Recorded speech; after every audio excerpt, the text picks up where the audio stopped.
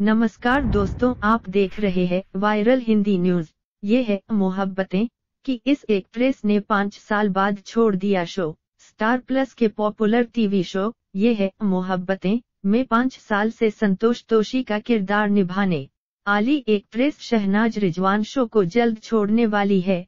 उन्होंने शो में अपने कॉमेडी अंदाज में एक समझदार सास का किरदार निभाकर शहनाज ने किरदार को यादगार बना दिया। शो छोड़ने की वजह पूछे जाने पर उन्होंने बर आया कि मैं किसी प्रोफेशनल कारण की वजह से शो को अलविदा नहीं कह रही हूँ। शो पर्सनल वजहों से छोड़ा है।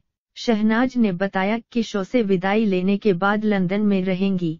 दरअसल एक प्रेस का परिवार लंदन में रहता है और वह उसे बहुत मिस करती हैं। परिवार के साथ समय बिताने की वजह से शहनाज ने शो से अलग होने का फैसला लिया है। शो में रमन भल्ला की माँ की किर का इस बात को बेहद कम लोग जानते हैं, कि मैं शो के लिए भारत आई थी। मेरे बेटे ने एक फ़िल्म का निर्माण किया था, जिसमें मैंने अभिनय किया था।